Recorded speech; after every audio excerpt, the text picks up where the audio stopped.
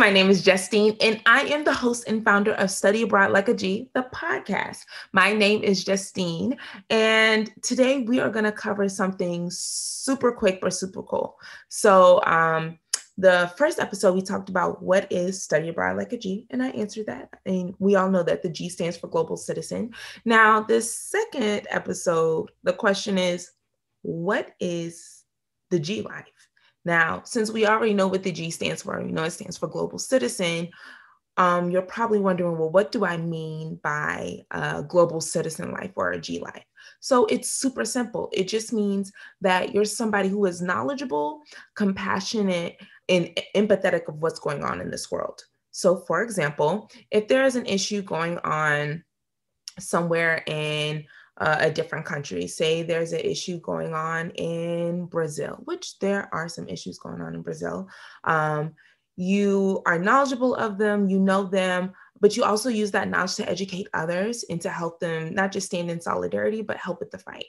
Also, what being a global citizen means is that you are uh, moving the way that the people move. So, when I say that, for example, um, before I went to Spain, I made sure I touched up on some of my Spanish. Why? Because I'm going to a country where their number one language is Spanish. One, but then two, that helps me move as somebody who's not a member of that society, that specific society or that nation state. That helps me move a little bit better um, when it comes to, you know, getting around. I'm able to greet and ask people certain questions. Um, also being a global citizen is knowing the culture and sometimes you don't specifically know the culture until you get into it and, with those cases um, you're really kind of experiencing uh, what it is to become a global citizen as you're learning it. And that's okay and that's fine. And you will not be perfect when you are becoming a global citizen or in your um, on your journey of being a global citizen. We make tons and tons of mistakes. I've made some. And I think it's so important to know that and to state that now. But I think specifically for people of color, and, and I'm talking for the Black, Indigenous, and people of color community, um, we have to move a little bit different. Uh, when we go to certain countries, especially countries when uh, the majority does not look like us um, or they do not speak the same language. So we have to learn how to do things a little bit differently.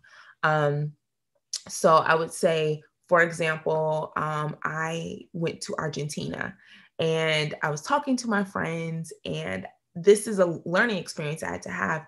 I realized that I was asking someone, I said, Well, I want to learn how to do dirty dancing. And I think that that is, um, it, uh, when I sang Dirty Dancing, I meant the dance, the tango. I've always wanted to learn how to do it. And I think in America, it's been very um, uh, hypersexualized. Um, we call it dirty dancing uh, when in actuality, it has a name and it's called the tango. And so I kept saying that. And the lady was like, I don't know what you're talking about. And she was like, Are you talking about the tango?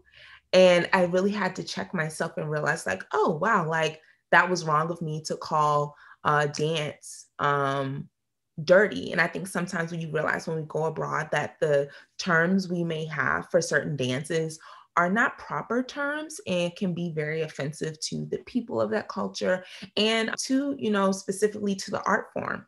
So that's a way that I learned on my path in being uh, a global citizen like oh you know that's not okay and it's all right you'll make mistakes and you can jump back from them and you just know okay i won't do that again.